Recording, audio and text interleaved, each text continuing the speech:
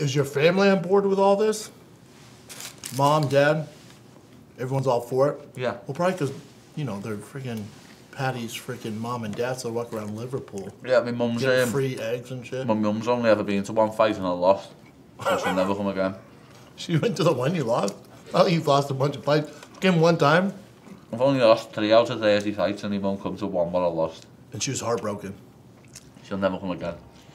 My mom Well, came. My mom came to one. It was my first pro fight, and I, you know, beat this kid up in like 34 seconds. And I see her in the back, and she goes, "How many more you got tonight?"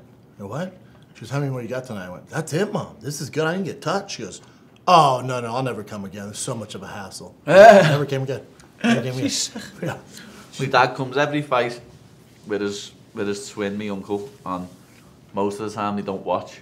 They're just like Too nervous. too nervous. Yeah, I can imagine. The other week, they actually watched in the O2, and they were both just like, oh, Did, did they realize, like, when you walked out, when that crowd went freaking nuts? nutsos when you hit the Yeah, walkway? um, they, they, they realized they how big- realised how big it actually was, yeah. They didn't know before No, that. they didn't realise how big it was before that.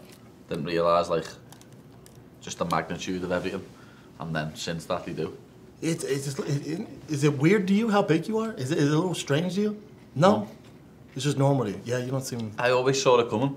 Really? If I go back and get podcasts or interviews or anything when I'm 15, 16, 17 years old, when I'm just like an amateur or when I'm just turned pro, and I say all the same things.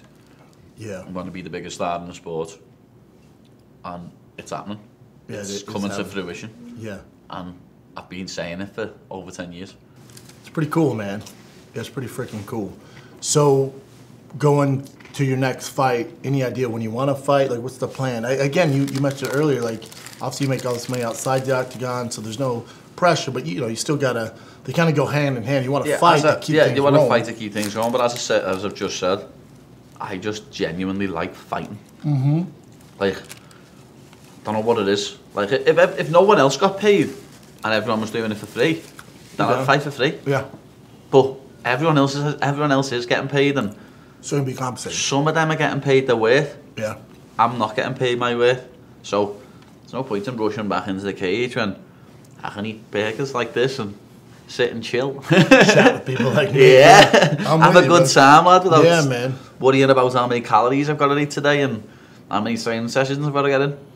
Yeah, for only being 27, having two fights in the UFC, I think you have the best attitude towards this profession I've seen. You don't seem stressed out. A lot of guys are, you know, it's tense, man. It's a, it, you can't, it's an intense job, man. You're fighting grown men in your underwear in a steel cage. It's a fucking intense job when you think about it. You It is, like, but- I, I- I think you're born to do this, man. That's what I say. I've always said I was born to do this. I genuinely think if reincarnation is a thing, then thousands of years ago I was in a coliseum Yeah, fighting in front of people to entertain them. in a kilt some shit. Yeah, killing fucking lions and tigers and bears. Yeah, your dick's hanging out the Yeah.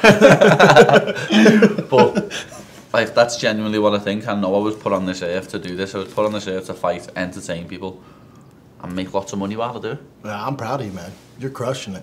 Yeah, I, I think would you, would you want to fight again this year? Like you've had one, it's early, right? You want Yeah, to fight? I'd love to have another two this year, but as I say, um, I'm not rushing back into the cage. And the way I said before, people say oh, I should take short notice fights. No, no, I no. shouldn't. Uh-uh. I don't have to take short notice fights. I'll I'll take a fight with ten weeks of prep, and I'll be the best me I've ever been every time I do it. Short, short-sighted fights have, in the grand scheme of the UFC. If you look back, They've never really it never anyone, works out. no. For, it never works out. You're rushing yourself. You're not prepared. The other guy's been in camp for 12 weeks. He's in shape. It never works out, man. It's so short-sighted. So But again, you got a good team around you. It's not like you know I'd I'd love to get another two in this year, but at 55. yeah, we take short notice fight, we're fighting fucking Izzy. Yeah. We take a sh- fight. we take a short notice fight. Have to be 170 or 165 or something. But Shit, they wait another three months. You're fighting Francis Ngannou, yeah, I'm not a, I'm not, I'm not big enough to fight at 170. Yes, the 70s are big. Yeah, they're no, big. You, yeah. But like when I was in, when I was in New York for the Usman Covington card, Oh, Colby. yeah, Yeah. I, I bumped into Derek Brunson, Anthony Smith, and Uriah Hall, and every one of them said to me, ah, do you fight at 170? I was like, no, nah, I'm a 55er. Every yeah. one of them was like, what? Yeah, man. Yeah. Because then I was standing next to them. I'm like the same height as some of them. Like I was same height as Brunson, I think.